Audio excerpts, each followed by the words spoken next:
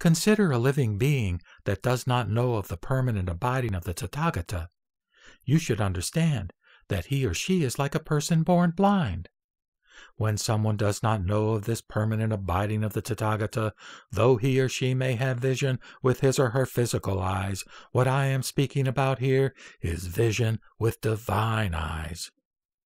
If one is able to understand the permanence of the Tathagata, know that that person will have cultivated sutras like this one for some time. When I speak about these things, I am alluding to seeing with divine eyes. But even if one has divine sight, he or she may still not be able to understand the permanence of the Tathagata.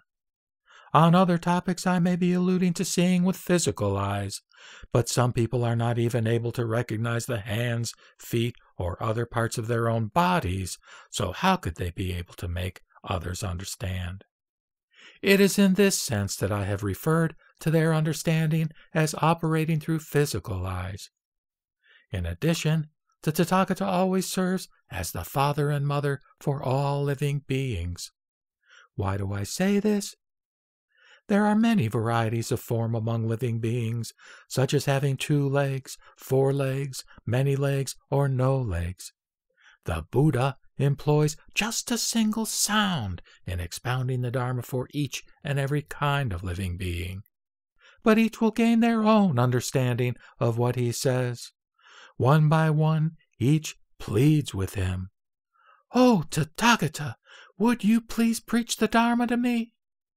It is in this sense that I am called their mother and father. In addition, think of a baby who for the first sixteen months speaks but does not yet communicate. Yet the father and mother want to teach the child how to speak. So at first they make the same sounds as the baby, and then gradually teach the baby proper language. The Buddha Tathagatas are also like this. When they expound the Dharma to living beings, they adapt to the various sounds those living beings make. For the purpose of enabling them to establish themselves in the true Dharma, the Tathagatas will manifest in a variety of forms, according to how they will be seen. Why?